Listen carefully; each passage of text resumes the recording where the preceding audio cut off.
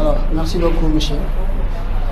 Alors, bonjour ou bonsoir. Eh bien, cela dépend du lieu où on se trouve et de l'instant où vous écouterez mes paroles. Et quand le temps et l'instant seront réunis, les deux côtés ne feront plus qu'un. Alors, Madame Siliana, Mademoiselle, Messieurs, puisqu'on est au début du jour, je vous souhaite à vous tous bonjour et bienvenue à un exposé. Comme je viens de le dire, je suis là aujourd'hui pour vous présenter un travail, un travail portant sur le thème de la psychanalyse freudienne, dont M. Sec m'a sollicité pour vous le faire présenter. Alors, avant d'entrer dans le vif du sujet, permettez-moi tout d'abord de vous présenter.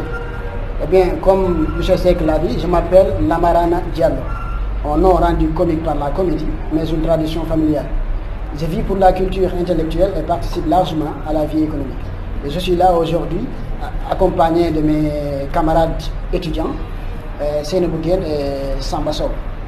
Alors, sans plus tarder, puisqu'on a perdu beaucoup de temps, euh, entrons maintenant dans le vif du sujet. Comme vous pouvez le voir, on va parler de la psychanalyse. Et aux deux questions suivantes, qu'est-ce que la psychanalyse, à quoi ça consiste, on va le voir dans l'introduction. Et après ça, on va tenter d'aborder la question à quand débute la psychanalyse, à travers l'historique, les débuts de la psychanalyse. Après ça, on va voir les évolutions conceptuelles à travers les deux topics.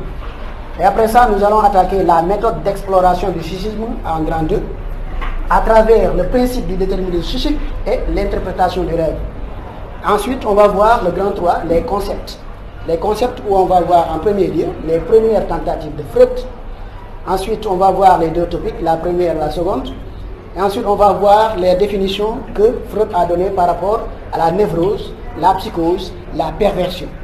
Et on terminera avec le grand 4, la pratique, à travers le psychanalyste et la cure psychanalytique. On terminera tout ça par la conclusion. Mais entre-temps, nous allons aussi voir les différents schémas qui se trouvent ici. Ils en manquent, c'est parce qu'il n'y a pas beaucoup d'espace. Bien, ce qu'on peut dire, c'est que dès le début, l'hystérie est la maladie que Freud s'empare à l'heure du siècle pour avertir les hommes de leur blessure originelle. La psychanalyse est une manière particulière de raconter l'angoisse, l'oubli, le souvenir, le temps, le déchirement. Freud dit que la névrose n'est pas une maladie insolite, mais la conséquence partagée par beaucoup de conflits infantiles non résolus.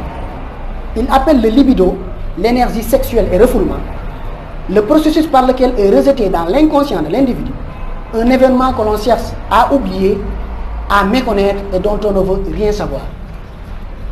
Freud dit, dans l'inconscient, rien ne finit, rien ne passe, rien n'est oublié. De l'autre côté du visible, Freud trace les figures infinies de l'inconscient avec des, avec des mots qui révèlent des mystères à tous les hommes. Rêve, acte manqué, oubli, tout a une signification. Qui parle en moi? Telle est la question que Freud a posée à l'heure du siècle? Freud reprend tous les termes qui existaient avant lui. Sexualité, inconscient, transfert psychodynamique, mais il leur donne un sens tout à fait nouveau. En accentuant l'idée selon laquelle l'homme, le sujet, est déterminé par des forces qui lui échappent. Et ça, c'était quelque chose de tout à fait inacceptable, parce que c'était une perte de la maîtrise. Alors, ce qu'on peut dire en même temps, c'est que s'il a été capable de faire ce travail, c'est-à-dire de mettre à jour ses forces inconscientes, c'est parce que la philosophie occidentale était arrivée à un point de réflexion sur le sujet conscient et sur la conscience très poussée. Il est fort probable que la psychanalyse n'aurait pas pu naître avant qu'il y ait eu une philosophie de la conscience. Pourquoi? Parce que pour se rendre compte qu'on a un inconscient, il faut encore en être conscient. L'idée d'incurabilité et de curabilité habite tous les domaines de la psychiatrie et des maladies psychiques, beaucoup plus même en médecine. La psychanalyse a guéri l'hystérie des années 1880. Après les ans, au lieu d'être hystériques, sont devenus des passifs. Ça veut dire quoi? Ça veut dire que les maladies changent, les symptômes changent au fur et à mesure que l'on invente des techniques pour les guérir. Mais on ne vient jamais à bout de rien. Ça aussi, c'est valable en médecine et c'est valable en analyse.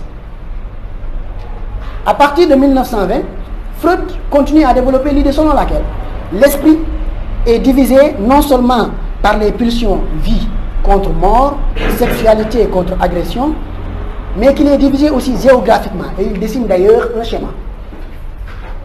Il y a le ça, qui est inaccessible directement, il est si profondément enfui que le seul moyen de l'atteindre est d'étudier les erreurs, les symptômes, les lapsus, qui montrent ce qui bouillonne à l'intérieur.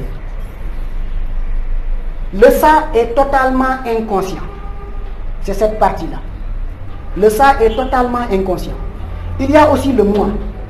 Le moi est à la fois conscient, cette partie-là, et inconscient, cette partie-là.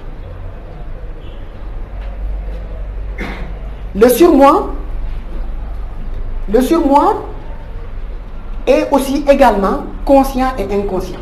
Mais, mais le surmoi peut être appelé la conscience. C'est un peu plus compliqué en fait, mais on n'est pas très loin de ça. Le moi est en quelque sorte la partie de l'esprit qui concerne la maîtrise du monde. Il est en contact avec les forces extérieures, agit sur elles, les reçoit, les réinterprète et organise l'esprit. Et il est partiel, partiellement aussi conscient. Cela, ça, ça veut dire quoi? Ça veut dire qu'il n'est pas seulement la pensée raisonnée, même s'il en fait partie. Eh bien, cette division sert à souligner quoi? Sert à souligner que le conflit mental auquel Freud s'est toujours intéressé est partout.